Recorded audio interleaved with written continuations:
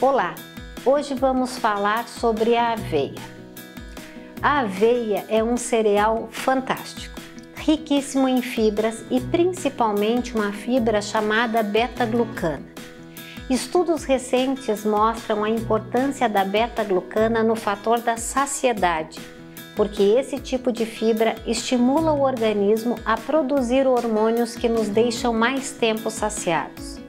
Além disso, a aveia é rica em fibra solúvel, ou seja, esse tipo de fibra controla a absorção de açúcares e gorduras no organismo, sendo também indicado nos casos de diabetes e hipercolesterolemia.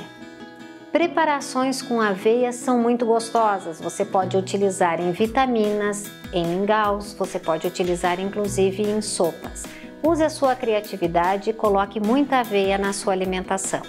A dica é: coloque na sua alimentação diária duas colheres e meia de sopa de farelo de aveia ou de aveia em flocos grossos.